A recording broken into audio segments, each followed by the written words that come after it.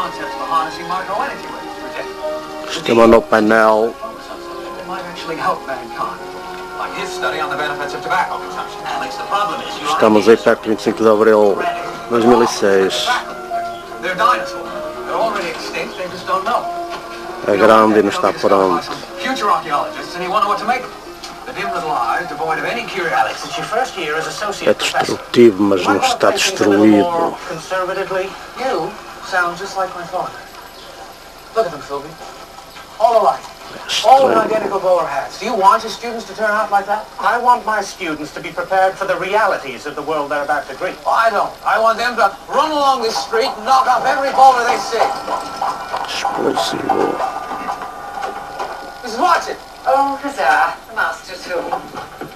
did you get it? Hello, Mr. Filby. Hello, Mrs. Watchett. You're looking in the pink.